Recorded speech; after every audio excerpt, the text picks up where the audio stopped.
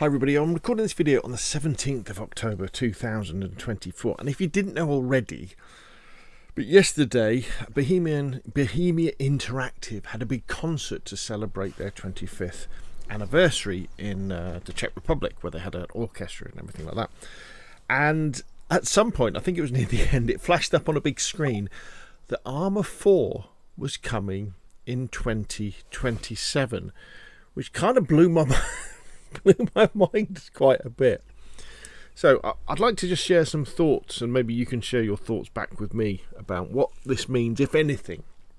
So, first thing we've got to say is we've got to take this with a pinch of salt, because you know 2027 seems like an awful long way away.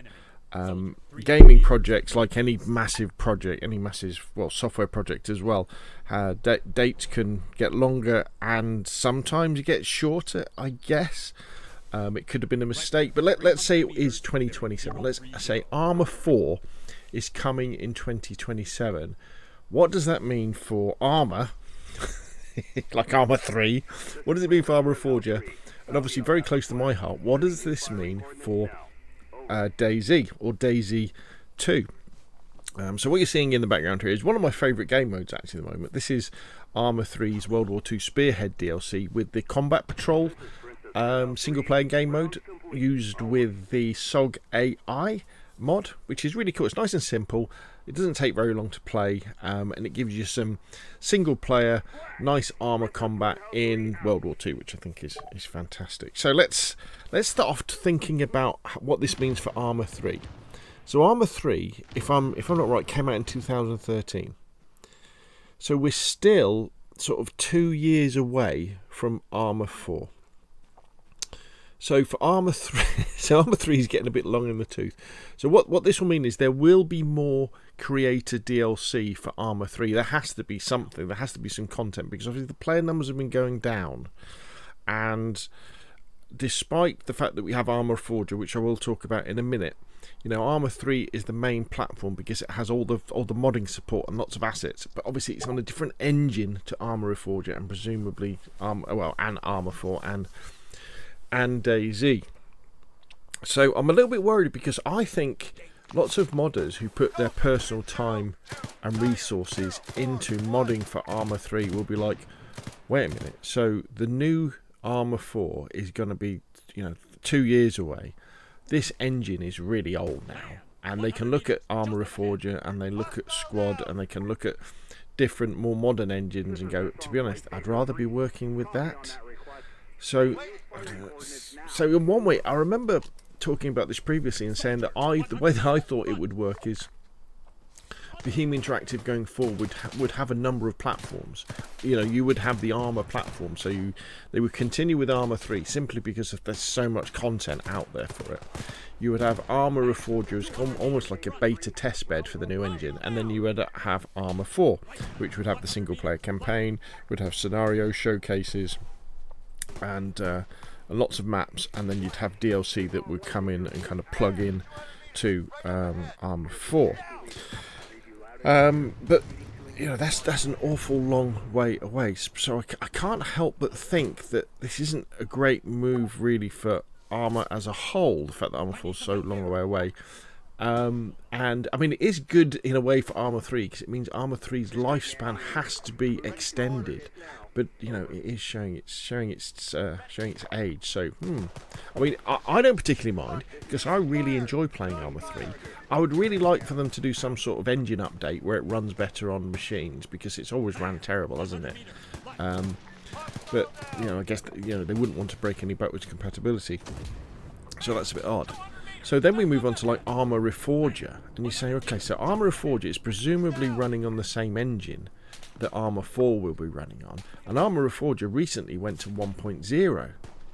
And I, I, can't be the only person who thought, okay, so when Reforger goes to 1.0, they'll have ironed out most of the bugs in the engine. They'll want to be sort of creating new maps or porting up the older maps and porting in this extra mission structures for modding and things like that. But it must mean that when Arma Reforger goes 1.0, Arma 4 can't be that far away, you know.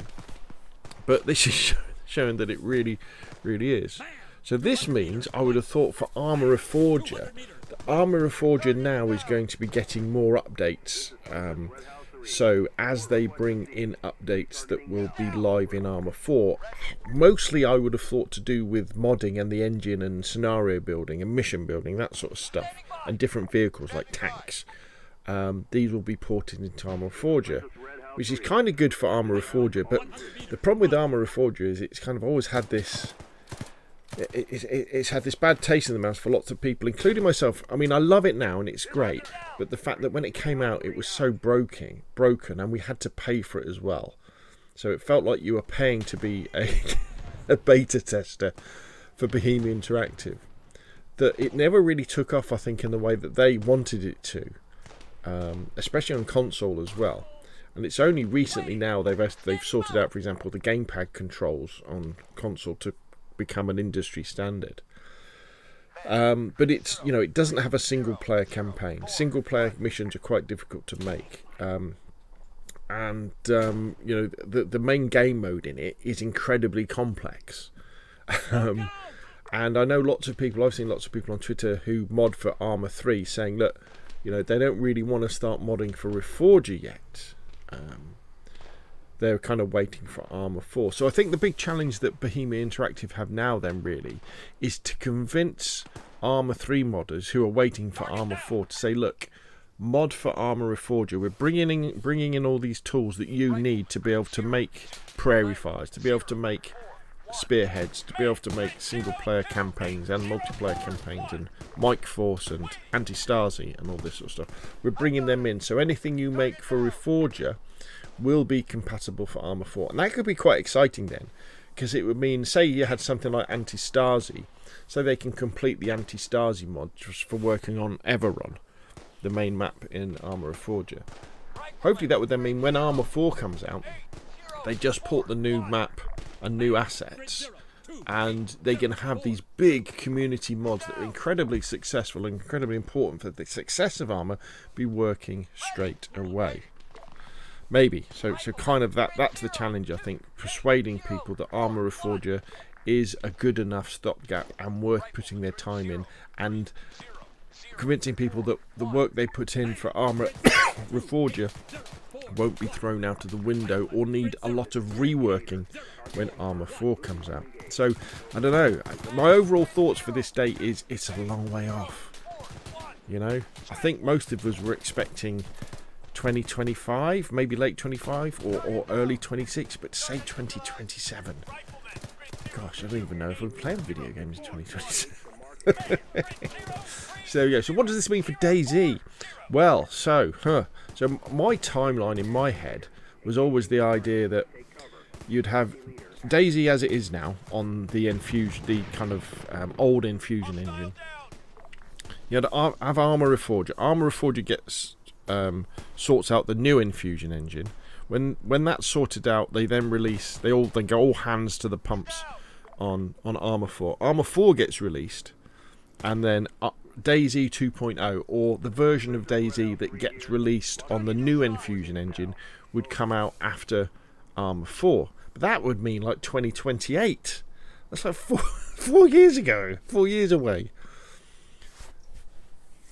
So that can either mean they're going to port DayZ to Enfusion before that, or they're going to carry on working with the existing Enfusion engine, the old Enfusion engine, and bringing new stuff in. I mean, it may be why we saw the new Sakhal Frostline map, because maybe the guys at BM, Bohemian Interactive and girls said, look, Arma 4, our big cash cow, you know, is, is three years away. You know, we're not going to get to it till 2027. We need something that people are willing to spend their money on. And so we're going to invest this time in Sakhal for DayZ because DayZ is a big cash cow for, for Bohemian Interactive. And it kind of pays for, for Arma, Arma 4, I guess, the development of it. So maybe that's what's going to happen. Um, which makes me a little bit sad. Because again, what I felt with DayZ was that you'd have DayZ on the existing Enfusion engine, which would run on old consoles and lower powered PCs very well. You know, PlayStation 4s, Xbox Ones, lower powered PCs.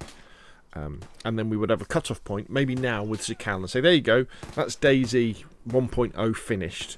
It's, we've got all these lovely vanilla maps. You've got all these mods as well, and now we're going to move on to Enfusion Engine, where we can do. You guys can do even more. We can bring, for example, we can have all the survival mechanics of DayZ, but now we can bring in proper mission planning and AI. Not not zombie AI, but soldier AI. So imagine how DayZ, you know, DayZ with proper AI uh, enemies would be really cool, wouldn't it? That they could mod it, that you could mod in. Um, and maybe that way. But I don't know. That's kind of kind of in the air. So the way I see it now is DayZ is going to carry on as it is, with them just working with the existing Enfusion engine. I can't see them bringing out DayZ 2.0 on the new Enfusion engine before Arma 4, because Arma 4 is really DayZ uh, Interactive's baby. And I would have thought all of the resource, well, most of the resources of Bohemia Interactive will be will be going into getting Arma 4 working. Um, and then when, when that's working, they go, right, the Enfusion engineers come over to DayZ, and we can get DayZ working. So there we go. What do you think, though? This, I almost think they would have been better off not announcing it rather than saying it was 2027. But what do I know? I'm, you know, I'm just guessing. I'm just shooting the breeze here. What do you think about 2027 for Arma 4? What does it mean for Arma as a whole, Arma 3 and Arma Forge and Arma 4? And what does it mean for DayZ? put your comments below. Thank you very much for watching, and of course, I'll see you all again soon.